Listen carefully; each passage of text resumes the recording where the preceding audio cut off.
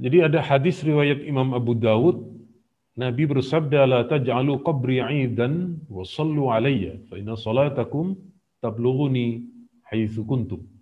Jangan jadikan kuburku di Madinah idan sebagai perayaan. Hadis ini oleh saudara kita dari Salafi dijadikan dalil sebagai larangan kita berziarah tahunan ke makam Rasulullah. Sebab menurut mereka kalau kita datang tiap tahun rutin, itu artinya kita telah melanggar perintah Nabi. Di saat Nabi memerintahkan untuk tidak mem- tidak menjadikan makam beliau sebagai perayaan. Tetapi bagi kita, tidak kemudian menjadikan makam Nabi ini sebagai tempat perayaan, tidak. Kita berziarah ke makam Nabi. Hadisnya cukup banyak, Ya, meskipun para ulama sebagian menilai hadisnya adalah hadis daif, tetapi kemudian dari golongan Syekh Ibnu Taimiyah itu mengatakan hadisnya adalah hadis palsu. Tetapi kita mengikuti pendapat ulama yang mengatakan derajat tentang ziarah ke makam Nabi tidak sampai palsu. Sudah menjadi kesepakatan bahwa berziarah ke makam Rasulullah itu adalah kesunahan. Ya, ziaratu qabrihi sallallahu alaihi wasallam sunnatun min sunanil muslimin. Berziarah ke makam Nabi itu adalah sunnah yang disepakati oleh umat Islam. Lalu terkait dengan beberapa hadis yang oleh sebagian ulama memang dituduh hadis palsu, ya, khususnya pengikutnya Syekh Muhammad bin Abdul Wahab, Syekh bin Bas, dan lain sebagainya, maka kita cukup menjawabnya dengan perkataan Imam Az-Zahabi. Imam Az-Zahabi beliau katakan, semua jalur riwayat tentang hadis ziarah makam Rasulullah memang doif. Tetapi kedoifan itu berhubung jalurnya banyak, secara akumulasi itu banyak, maka meskipun doif saling menguatkan. Kemudian ditambah lagi oleh Imam Ibnu Hajar, ini ulama ahli hadis yang makamnya ada di Mesir, kata beliau, perkataan Ibnu Taimiyah bahwa hadis ziarah makam Rasulullah itu adalah hadis palsu, tidak betul kata beliau. Wasallu alayya bersolawatlah kalian kepadaku, fa inna salatakum tablughuni haitsu kuntum. Bersolawatlah kalian kepadaku, karena solawat itu akan sampai kepadaku di mana pun kalian berada. Nah, kita lihat hadisnya, memang betul. Hadis ini memang teramat banyak riwayat yang menyatakan demikian. Ini misalnya hadis berkenaan dengan di mana pun kita berada, solawat itu selalu sampai kepada Nabi. Hadisnya adalah hakfirus salat alayya, perbanyaklah kalian membaca salawat kepadaku, fa inallah wakkala, fa inallah wakkala malakan inda qabri. Allah meletakkan satu malaikat di dekat makam Nabi.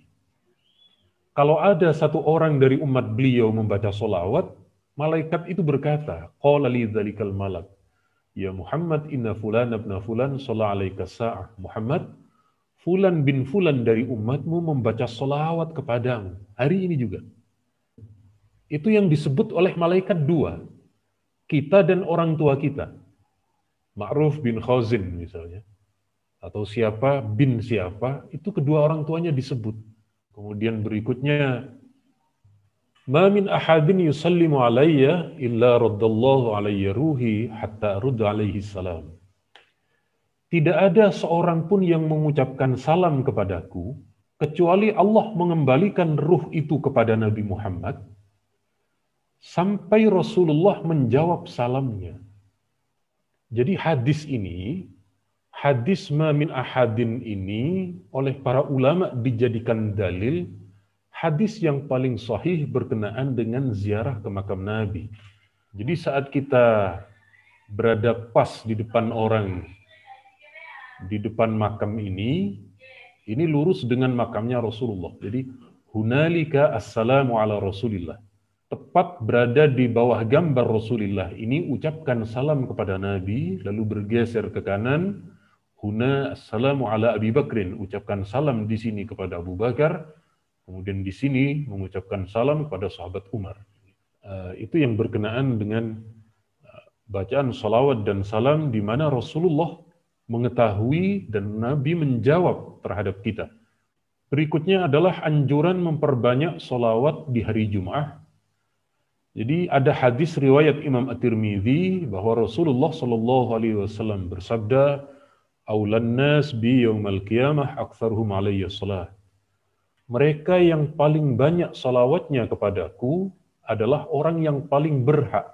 Nah, paling berhak itu apa maksudnya? Aulan nas bi yang dimaksud dengan paling layak dengan nabi itu para ulama memberi dua penafsiran. Pertama adalah menzilatan, kedudukan. Jadi yang paling layak bersama dengan Nabi di surga. Jadi menzilatan itu kedudukannya paling dekat dengan Rasulullah. Itu yang paling banyak solawatnya. Penafsiran yang kedua, bi ay bi syafaati. Orang yang paling layak mendapat syafaatku. Kalau mendapat syafaat, Begitu orang tadi ada di neraka, mendapat syafaat Nabi karena sering bersolawat, maka masuk surga. Tetapi ke surganya belum tentu berkumpul dengan Nabi. Itu konsekuensi dari penafsiran ulama yang kedua. Tetapi kalau penafsiran ulama yang pertama, itu biman zilati, orang yang paling dekat dengan Nabi. Surganya, meskipun kita berbeda levelnya dengan Rasulullah, tetapi paling tidak kita dekat untuk setiap saat misalnya ingin berjumpa dengan Nabi oleh Allah dipermudah. Kemudian kapan kita dianjurkan membaca solawat itu untuk sebanyak-banyaknya? Anjurannya adalah hari Jumat. Ini hadisnya panjang. Jadi hari yang paling baik di antara tujuh hari itu adalah hari Jumat maka perbanyaklah kalian semua membaca salawat kepadaku di hari Jum'ah, karena salawat kalian oleh Allah dihaturkan kepadaku. Tadi hadisnya sudah. Berapa jumlah yang dibaca oleh sahabat? Ternyata sahabat itu, kalau di hari Jum'ah, itu membaca salawatnya seribu kali. Ini terdapat dalam riwayat yang disampaikan oleh sahabat Ibn Mas'ud. Ibn Mas'ud ini berkata, Tadi Ibnu Mas'ud yang meriwayatkan orang yang paling berhak bersama dengan Nabi itu ya juga Ibnu Mas'ud. Makanya beliau berkata kepada Zaid bin Wahab, kalau kamu di hari Jum'ah, jangan kau tinggalkan membaca solawat seribu kali. Ini ada sahabat, sahabat itu ibadahnya sudah bagus, beliau berkumpul dengan Nabi, sudah satu masa dengan Nabi, solawatnya seribu. Tadi disebutkan oleh Nabi, orang yang paling layak mendapat syafaat atau kedudukan adalah yang paling banyak solawatnya. Kita dari segi kualitas ibadah tidak sama dengan sahabat. Lah kok solawatnya di bawah dari sahabat itu? Solawatan tidak mau, baca solawat tidak mau. Sahabat ternyata solawatnya seribu. Kemudian berikutnya, yakni bagaimana solawat kalau bukan dari Rasulullah? Ternyata ada muridnya Ibnu Taimiyah bernama Imam Ibnu Qayyim. Beliau ini dalam kitabnya Jala'ul Afham mencantumkan beberapa riwayat dari sahabat, dari tabi'in tentang bacaan salawat. Di antaranya adalah salawat Ibnu Mas'ud. Allah maja'al salawatika wa rahmataka wa barakatika ala sayyidil mursalin. Jadi kalau kita hari ini membaca salawat untuk Rasulullah pakai sayyidina, Dalilnya ya Ibnu Mas'ud ini. Wong Ibnu Mas'ud baca Sayyidina kok. Kalau kita yang hari ini membaca salawat Sayyidina dibid'ahkan, ya bid'ahkan juga Ibnu Mas'ud. Jangan cuma kita. Salawatnya panjang beliau. Kemudian berikutnya Ibnu Abbas, ini doa beliau berkenaan dengan kedudukan Rasulullah. Kemudian lagi ada seorang tabi'in, para ulama salaf kita, Imam Al-Qamah An-Nakhai, beliau juga membaca solawatnya, beliau rangkai sendiri. Jadi sekali lagi beliau merangkai sendiri, Sallallahu wa malaikatuhu ala Muhammad. Assalamu alayka ayuhan nabi wa rahmatullahi wabarakatuh. Ternyata solawat itu redaksinya tidak harus dari Nabi. Sebab kalau redaksi solawat itu harus dari Nabi, tidak mungkin sahabat mengajarkan, tidak mungkin tabi'in mengamalkan dengan merangkai sendiri, dengan menyusun sendiri. Imam kita juga, Imam Muhammad bin Idris bin Syafiq, beliau merangkai, merangkai sendiri bacaan solawat itu. Bagaimana di sini beliau katakan sallallahu ala Muhammad adada ma dzakarahu dzakirun wa adada ma ghafala an dzikrihil ghafilun dan seterusnya. Bahkan kita temukan satu solawat redaksi dari Sayyidina Ali yang begitu panjang. Allahumma dahiyal madhawat. Ya, panjang ini beliau, solawatnya ini. Ternyata, kalau bacaan rangkaian solawat itu bukan dari Rasulullah, tidak ada masalah. Nah, sekarang yang sering dipermasalahkan itu adalah ketika solawatnya berupa lantunan syair. Artinya solawat itu bukan kalimat nasar, tetapi kalimat berupa kalimat nadho. Kita lihat terlebih dahulu, ada sekian banyak permasalahan bagi kita dalam membaca solawat. Ada yang solawatan kita ini disertai dengan rebana, alat musik, maka kita lihat terlebih dahulu, kalau itu berupa terbangan tidak ada masalah. Ya. Sebab dulu di zaman Nabi, Nabi sudah sering mendengar beberapa sahabat perempuan menebut terbang. Ini ada sahabat perempuan, beliau matur kepada Nabi, Nabi saya punya nazar, kalau engkau pulang dalam keadaan selamat dari perang, saya akan menebut terbang di hadapanmu. Nabi berkata, lakukan nazarmu. Sahabat ini menebut terbang. Nah, jadi kalau berupa terbangan tidak tidak ada masalah. Nah, di lingkungan kita ini paling banyak di masjid, remaja masjid, majelis taklim, itu ada terbangannya. Lalu bagaimana kalau hari ini kita sering mengucapkan salawat salam itu dalam bentuk syair. Ya Nabi salam alaika ya Rasul salam alaika. Kita lihat dulu. Syair itu bukan nyanyian, ya. Jangan samakan dengan nyanyi lagu-lagu dangdut ataupun orkes-orkes zaman sekarang. Enggak. Nabi juga bersyair. Ini syair Nabi dalam riwayat Bukhari. Wallahi laula anta mahtadaina wa la tasaddaqna wa la sallaina fa anzilan sakinatan alaina innal ula qad abaw alaina. Riwayat Bukhari.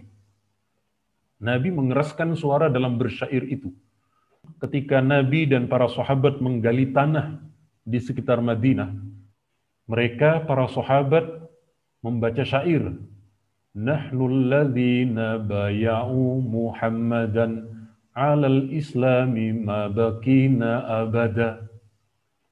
Sahabat ini bersyair bersaja. Kalau di sini orang Betawi berpantun Ketika ada sahabat yang mengucapkan syair dengan bersajak ini, Nabi menjawab dengan bersajak syair Nabi. Allahumma innal khaira khairul akhirah. Faghfir lil ansari wal muhajirah. Ungkapan Rasulullah dalam menjawab kepada sahabat itu juga bersyair.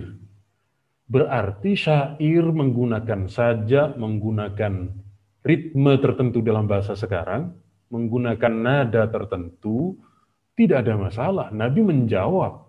Nabi juga melantunkan itu.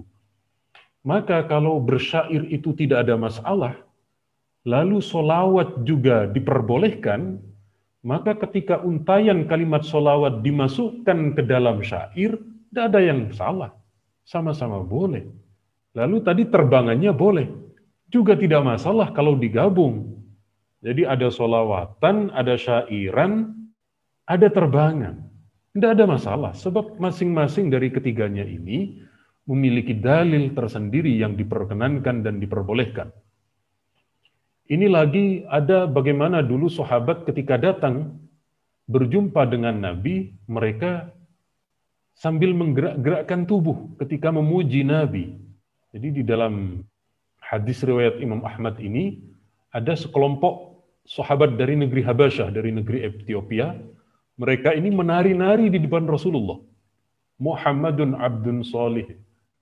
Lalu kemudian Nabi tidak mempermasalahkan dan Nabi tidak menegurnya. Kemudian ini Nabi disambut oleh perempuan-perempuan Madinah dengan bacaan syair dan juga terbangan tadi. Kata sahabat ini yang diriwayatkan oleh Imam Ibnu Majah, Nahnu jawarin min banin najjari ya habbaza Muhammadun min jari. Sahabat yang melantunkan bacaan syair disertai dengan terbangan itu dengan suara indahnya lalu dijawab oleh Nabi Ya'lamullah inni la uhibbukum. Allah tahu kalau aku mencintai kalian. Bagi kita hari ini tetap kita rutinkan membaca salawat kepada Rasulullah dan dianjurkan dengan sebanyak-banyaknya salawat.